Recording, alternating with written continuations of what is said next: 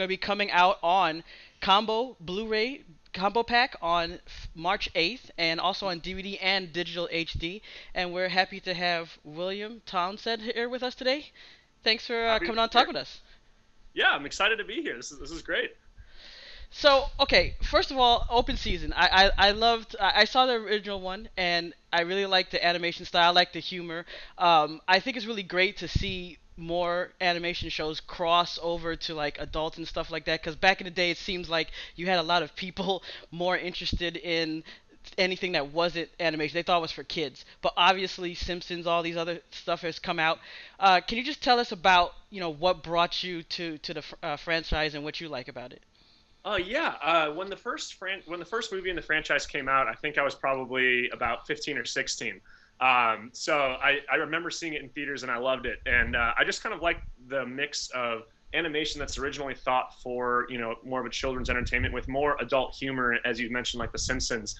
Uh, that it kind of combines that where it, it, reaches out to a broader audience than just Saturday morning cartoons for kids. And, and so I hope that uh, you know in this movie we're able to entertain kids, but also uh, a broader audience from there as well. Can you tell us about your role uh, in particular in the film? Yes, uh, I am the voice of Elliot the deer, uh, which you can see behind me uh, right there, as well as Mr. Weenie, the little German wiener dog nice. that follows Elliot around for most of the movie. so I'm two of the characters in there, which is, is, which is awesome. probably one of the coolest things I'll ever do as far as just getting into voice acting, because it's it's it's awesome. We've had opportunity to talk to people who've done voice acting before, mm-hmm. and a lot of times they talk about the difference between having to do multiple voices and then just coming in and like doing your voice. Either way, it takes a skill. You have to learn the lines, do everything, get into the character. Can you tell us about like your method in voice acting? Mm-hmm. Uh, well, this is actually uh, my first uh, feature film doing voice acting. I kind of uh, fell into this, mm-hmm. and so I'm still learning as I go. But uh, it worked out well with the two characters. That uh, Elliot is essentially myself. He's a very overly enthusiastic person that just tells his ideas to the world, whether people are listening or not.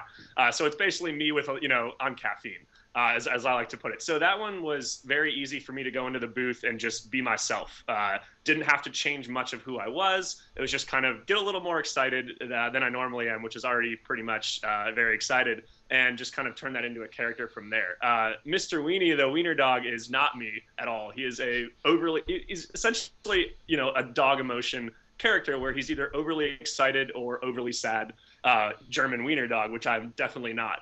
Uh, so he was a little bit harder to get into uh, as a character, but it, his voice was something that I'd been doing my whole life as a camp counselor.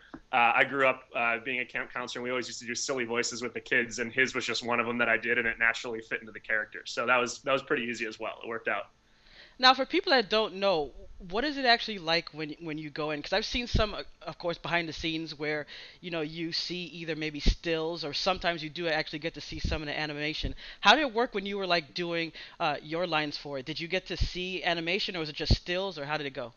Uh, it was just uh, stills. So what what they have is uh, they'll do storyboard recordings for uh, you know, until they lock down a script, which is the simple black and white drawings. And so you can see those uh, edited to how they want the scene to look, but it's still not animated. It's just very rough sketches. So they know the timing of how they want the scene to go. They don't actually start animating anything until they have your lines uh, recorded and pick the ones that they like best because they don't want to start animating the character's mouth or movements until they know exactly what the character is going to say um, like the kind of intonation when their arms would go up, when they would start walking. Uh, so I was actually in there with just very rough sketches, and then the director uh, to kind of telling me how the scene would go. He's like, "All right, in this one, your character just, you know, got launched out of a mine car. He's very exhausted, so you kind of had to turn that into you know that scene. We didn't necessarily do it in order, so you kind of had to jump around and uh, and kind of imagine where the character was before that scene. Awesome. So of course, I, I saw in the release uh, Sony Pictures, you'd be on the set and then talked about how you're an avid gamer. You'd go off and, and, and play games. Uh, was that something where you had like a handheld, or did you actually have like an Xbox or PlayStation somewhere in the corner? Uh, no, so I, I actually uh, live uh, about two blocks away from Sony Pictures. Uh, by chance, I happen to live there, so I, I get to when there's breaks, I can go home and uh, and play. It takes me about two minutes on a bicycle. Uh, so I would I would go home and uh, play PlayStation or Xbox, and then you know you'd have like an hour break or hang out, get lunch, and then I could just come right on back. uh, and, and, record it. So it really worked out well for me that I could just take breaks, get away for a little while, and uh, and relax and play some video games. So did you play games a lot like growing up? Like when did it first start that you like games? Uh, it, I think it first started. I remember having a Super Nintendo as a little as a little kid, but nice. it really kicked off uh, when I first got a Nintendo 64. I think that is the. Uh, I still have that in my room to this day, the original one that I got, and uh, that was really what got me going. Off the the Mario Kart, Super Smash Brothers, all those original Nintendo 64 games. I still play that pretty much more than any other system, uh, just kind of for the nostalgia factor. Um, but I think that was when it really kicked off, and I haven't stopped since as far as modern gaming, did you end up uh, deciding between Xbox, PS4, or did you get both? Uh, actually, uh, we, um, my roommate and I got a, P- a PlayStation 4. Um, so I did have an Xbox 360 and a PS3, and then when it came down, we didn't want to buy both of them, so we ended up going with the with the PlayStation 4 just for uh, a, a, few games that were coming out. Um, but who, who, knows? Maybe down the road, I can use some of the royalty checks to get an Xbox One as well. But for now, I'm a PlayStation 4 guy. Do you see like a lot of people that you've worked with like in other projects? Do you do you find other kindred gamers? Uh, you know, not not as many as as I would hope. Uh, I, I, there are a few people in my office that will go home during lunch and play, but uh, I haven't met too many. I'm sure they're out there. It's just not a conversation that has come up yet, but uh, I'm still looking. Cool, cool. Now, as I always had a question because you know, mm-hmm. with acting, voice acting, film acting, you know, there's a skill, and then depending on how it works out, you have fan bases that appreciate that. With you also being an avid gamer, you, you've obviously seen where people do pro gaming, things like that, and they excel to a high level. Do you ever think, or do you think that even it should be a case that maybe one one day these pro gamers who are at the top of their game would be looked at for their skills, like the way actors, actresses are looked at for their skills? I think so. Uh, I think it's a little ways off, but the the gaming industry in general, just in the public eye, has grown so much in the last little while. I think ESPN actually finally has a deal now where they uh, where they're showing you know pro gaming uh, on ESPN, which is huge. Um, and so it's it's not quite there yet, but I think it's getting there. I think it just needs to be in the public eye a little bit longer. Um, but it's it's an industry that everyone's so familiar with already. I mean, whether someone actually plays video games or doesn't. Everyone knows someone who does. So it's not that weird of a thing for people to get accustomed to. I just think they need to see it on TV a little bit or follow it more online. Uh, and, and, and then I think it will be, yes. So if you were stuck like on an island, and, and let's say you had other things, you had food, everything else that was uh-huh. good, but you need to get your entertainment, you could pick one console and one game. What would it be? All right, uh, I would I would have to pick one that has a, a lot of uh, replayability here.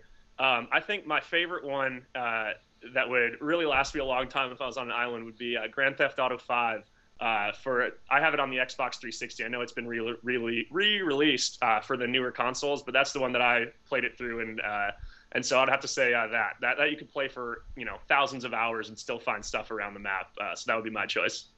So of course, in open season of Scared Silly, you have your your two characters. But if let, us say someone said to you, "Hey, you know what? We're gonna give you any animal that you want to be. What what one would you like to voice act?"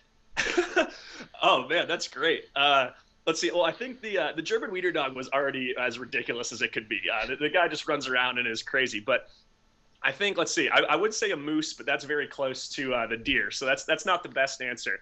Hmm. I would. I, I think.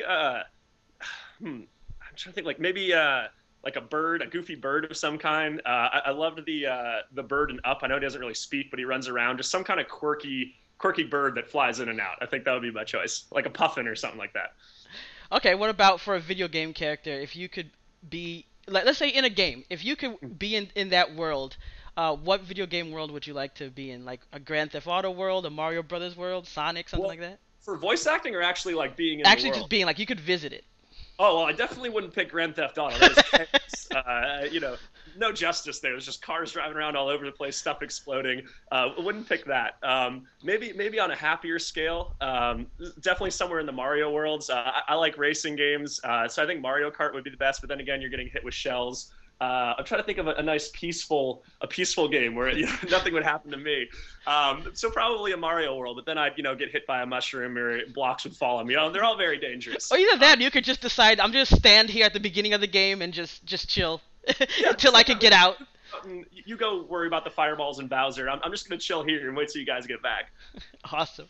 All right. Well, the film is from Sony Animated Pictures, and it's open season, scared straight, uh, scared silly. I keep saying scared straight. I don't know why. I, I, you know what it was? I'm, I'm used to I remember seeing those documentaries back in the day where they'd force you to yeah, to, to bring the kids in, and it's like, yeah, this is this is a good verse, scared silly, not scared straight. Yeah, we're not sending any of our characters to prison here, uh, you know, to help them with their future. Uh, maybe that's in the fifth one, but we're, we're, we're not sure where that's going yet. no, but the film is open season, scared silly, and it's coming out on Blu-ray, uh, DVD, and also digital HD downloads that you can get on March 8th. So thanks, uh, Will, for coming and talking with us today. Absolutely. And thank you so much for having me. This was a blast.